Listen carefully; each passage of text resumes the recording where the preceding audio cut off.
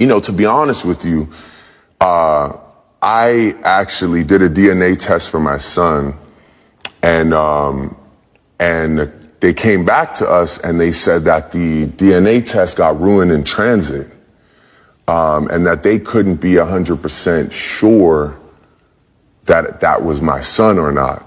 Um, so I was in a really weird pending situation where I didn't want to go tell the world mm. Um, that that was my son, and it wasn't. So, and if you see my son, you understand why. I'm mad. Here's the thing. I, I saw. Went in the shop. You showed everybody a picture. B I said he seen the picture. Show it to me. I thought we were cool, Dre. Yeah, I, I gotta see a picture. um, but yeah, no. If you see my boy, yeah. you'll understand. Like you know, at the time, I was like, I, I mean, he's just he's. I mean, he's just a stunning child. Yeah. You know, with the brightest blue eyes. And at the time, I was like, I don't know.